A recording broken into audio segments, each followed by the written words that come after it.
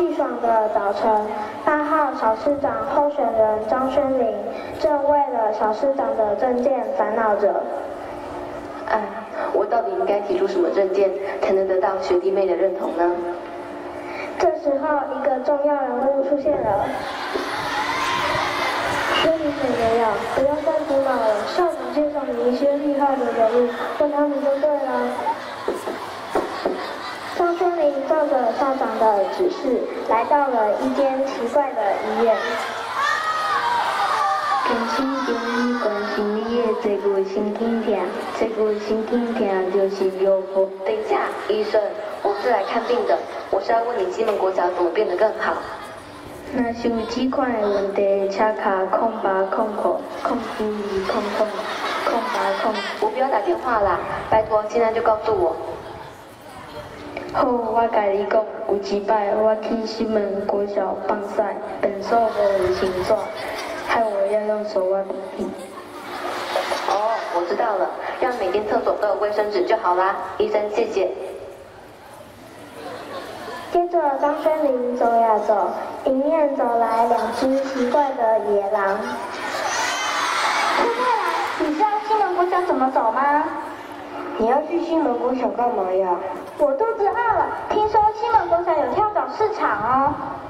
但是跳蚤市场没有吃的呀。没关系，现场一定有很多人，我最想吃的喜羊羊也会去哦。嗯。哦，那赶快走吧。我记得西门国小好像在虎头山上吧，我们去找找看吧。还好灰太狼很笨。嗯，看来我应该把西门国小的跳蚤市场改成园游会，有食物给他们吃，大家就不会被灰太狼吃掉。接着，张轩林走呀走，突然遇到了一个神秘的阿伯。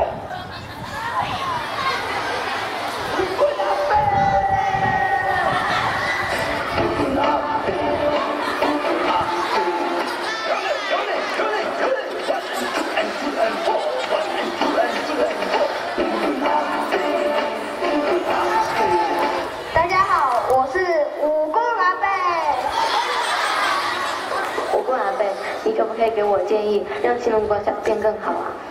这太简单了，你们只要。阿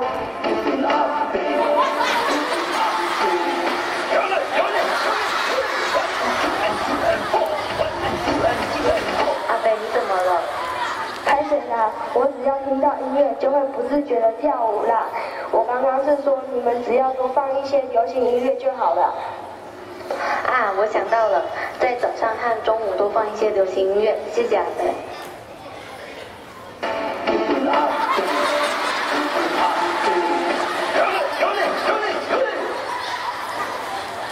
已经有三个证件的张轩林来到了一片大草原，突然间，一只特别的生物向他冲过来。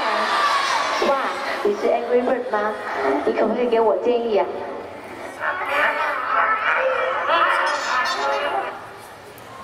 说什么？我听不懂哎。